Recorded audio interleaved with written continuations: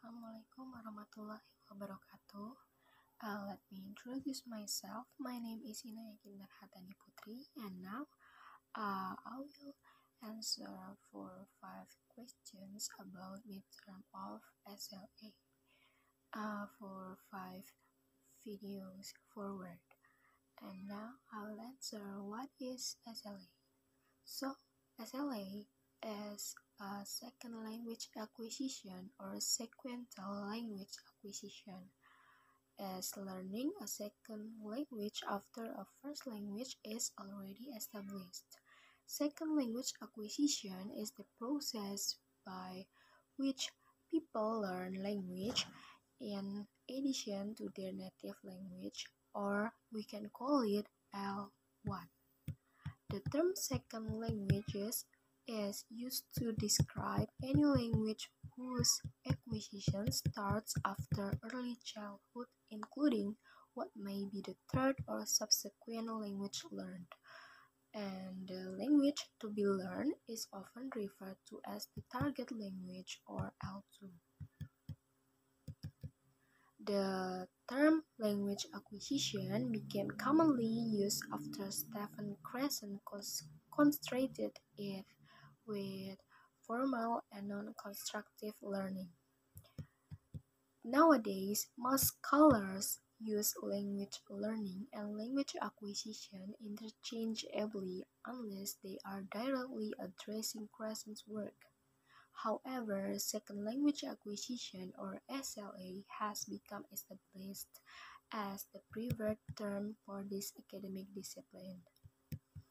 And then the Collins Dictionary defines second language as the language that a person learns after his or her native language and foreign language as a language that is used in a country other than, uh, than one's native country. There are different ways to acquire second or foreign languages. It can be in a formal way as in a classroom environment or informal ways such as when the learner picks up the language by being culturally active participant of the society. This can be done by attending school in the target country, watching local television, listening to radio, or and, read, and reading newspapers in elsewhere.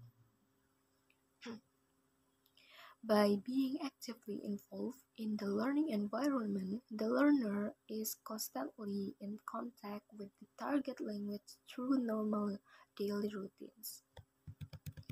Gardner and Lambert in 1979 have thoroughly investigated second language acquisition or SLA and early language learning ELL have been thoroughly investigated over the years and there is a popular belief that second language acquisition among children is achieved relatively fast and without effort.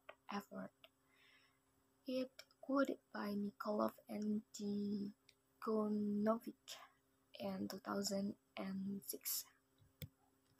However, more recent, more recent studies pose criticism on this widely spread claim of the effortless and quick second language competence among children by Hannes 2007 and Genesee 2006. And also, uh, although age plays a significant role in SLA, the benefit of motivation and exposure can provide better results in achieving complete second language proficiency.